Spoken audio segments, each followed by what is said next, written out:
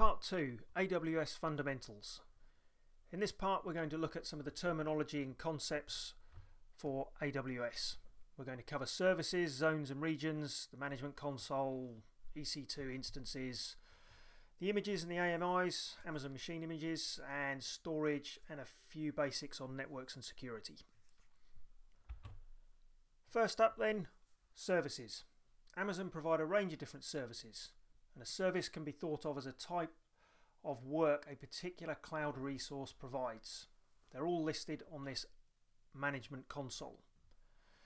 These services are also grouped into categories like compute, storage, database, and application services. Next, zones and regions. In the top right corner, you'll see a list of zones these are used to reduce latency between the end users and the services that are provided.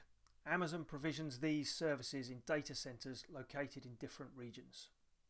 When you start a service, you'll want to make sure that you have the correct region selected so that the service is started in your region.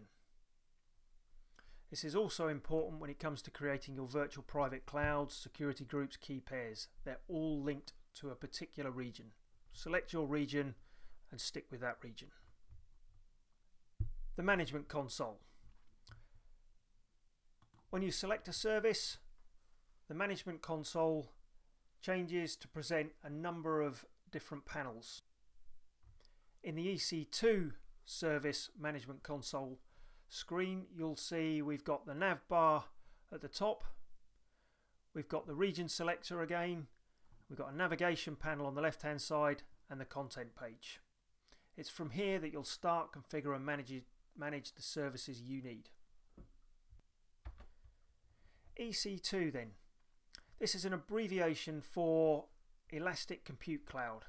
Essentially this is the service that delivers resizable computing capacity. When you select EC2 in the management console you're given the capability to start instances, configure them and manage those virtual machines in Amazon's cloud.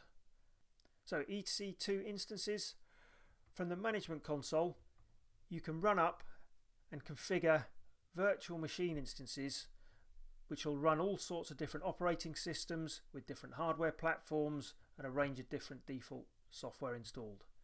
Each virtual machine you run up is referred to as an instance. In this example we have two virtual machine instances that we've run up and configured. EC2 instance types. Each instance you run up will be part of a specific type. A type defines the CPU, memory, storage and networking capability of the instance. Each instance type is then given a name and more details about those instance types can be found on the Amazon Web Service website. As part of this course we'll be focusing on using the T2.micro instance types which have one virtual CPU, six CPU credits per hour and one gigabyte memory with EBS storage. Images and AMIs. Each time you launch an instance and you start this virtual machine, you don't want to have to install and configure the operating system and additional software from scratch. To save you building the instance from scratch, Amazon gives you the capability to start the machine with a predefined image already installed. These images are known as AMIs. For the purpose of this course we're sticking to free tier AMIs and if you check this box you'll see all of the free tier eligible AMIs. So for example we've got Amazon Linux AMI. Again a list of all the different AMI types can be found on the Amazon website with details of all the different capabilities for each AMI. Elastic block store and volumes. A virtual machine is no good without storage. Amazon provide a huge number of options here. The most common is known as EBS, Elastic Block Storage. EBS is again another Amazon service and this service provides storage volumes that can be attached to running instances. The data stored is persistent, e.g. the data is retained across reboots and shutdowns, and each EBS volume can persist independently from the life of the instance if need be. In the EBS volumes screen you can see a list of your volumes along with a unique ID and if you scroll to the right you can see which instances they are attached to. Likewise if you view your instances you'll see in the instance details screen a list of the devices, the EBS devices that are configured and attached to this instance. Again, full details of the types of different storage and their characteristics can be found on the Amazon AWS website. Network and security. When you come to start creating your instances in a minute, you'll notice that each instance is created within a virtual private cloud. The idea of these virtual private clouds can be found for each individual instance and full details about the virtual private cloud is defined under the VPC service from the management console. When you view your virtual private clouds you'll see the VPC that was created automatically when we created the instances and from within there you can see the details for that specific virtual private cloud. Every instance we create at this stage will be created within our virtual private cloud.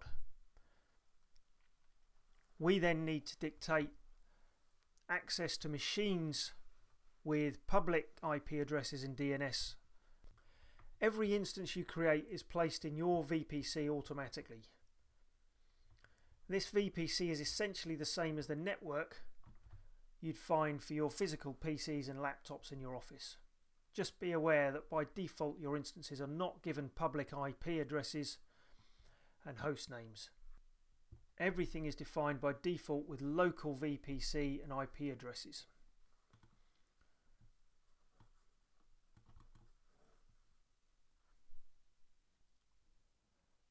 For example, when you look at your running hosts and you select an instance, you'll see that no public IP or public DNS information is provided. You have to configure this separately. Security groups. Built into the whole AWS framework are some pretty clever security capabilities. Key to running our instances is the concept of security groups that are defined under the network and security entry in the navigation panel. Each time you start an instance, you specify the security groups that you want to associate to the instance, and the instance inherits the rules from that specific security group. Those rules, for example, might be firewall rules that dictate inbound connections for HTTP from a particular source machine. Key pairs. AWS uses key pairs to encrypt and decrypt login details. These are the login details that you'll need to access both your Windows and Unix instances. The concept here is that we create a public and a private key. Amazon encrypts the passwords with the public key and when it provides you with the encrypted password the only person that can decrypt it is the person holding the private key, which is you.